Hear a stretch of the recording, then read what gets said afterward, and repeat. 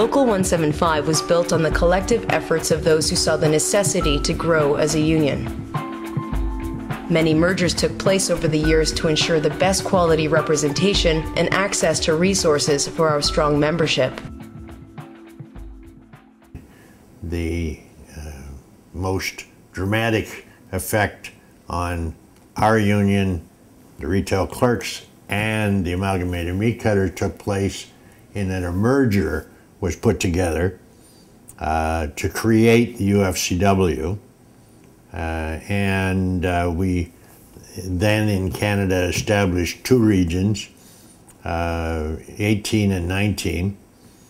Uh, Bill Hanley was running what was called the Ontario Retail Council, and uh, our three local unions in, in Ontario, being Local 409 in Thunder Bay, uh, Local 486 in Ottawa, and Local 206 based out of Kitchener, uh, decided that they collectively would merge with the Ontario Retail Council and uh, became part of Local 175.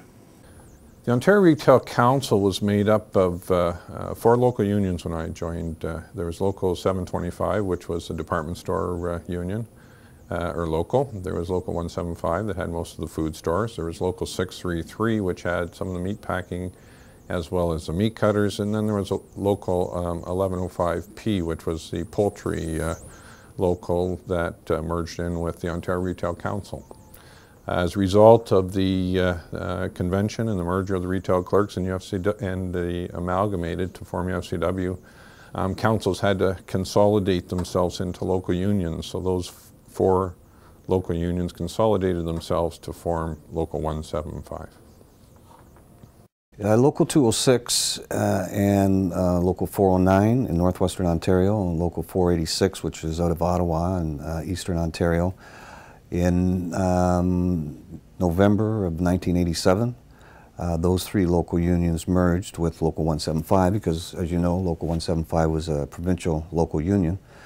And at the time, um, there were members that uh, were being serviced by 175 in Thunder Bay, in Ottawa, in the Kitchener area, etc. Uh, that were also being, different members were being serviced by the other locals, 206, 409, and 486. And it was determined um, that it made sense to put everything together.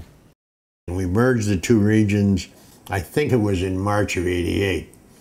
And, and Bill Hanley was the director then of uh, one region, and I was the director of the other.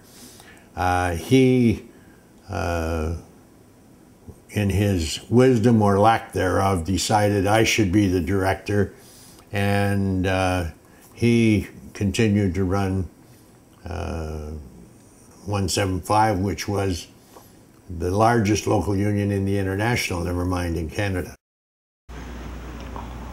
On January the 15th, I think it was, 1987, you appointed a task force to go across this country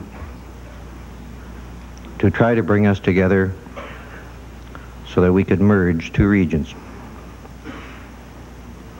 That was one year, two months, two days ago. Today I want to tell you,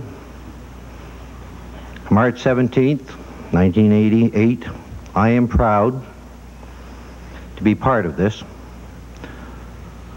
One year, two months, two days, we have accomplished what you gave us to do. Yesterday in this hotel, we began a new chapter in the history of our union. More than a chapter, we began a volume in that history, which goes back over a hundred years.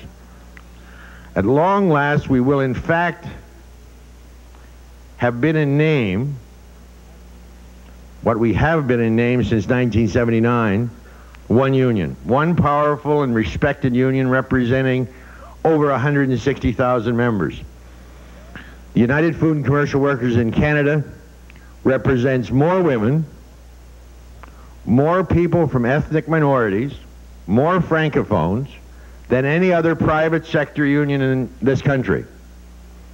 I think the, the diversity that the, the local union has as a result of those mergers is very important, and uh, it's important uh, for, for two reasons. One is for collective bargaining, obviously, but also to enable the local union to go out and to, to organize more workers into those various sectors.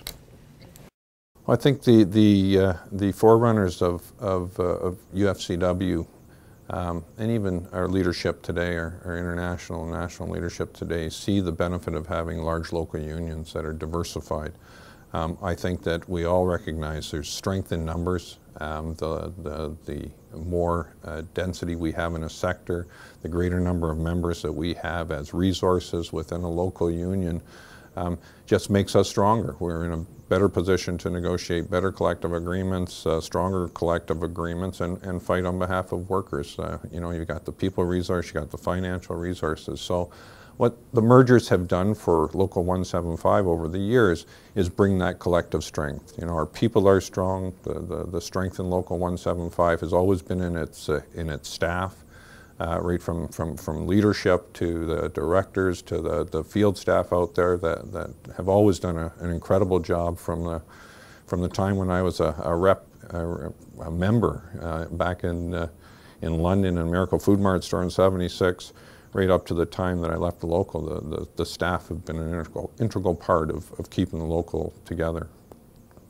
I think there was about 11,000 when I became president. When I left, through the mergers, through the organizing, we were somewhere in the neighborhood of about 44,000 people in Ontario alone.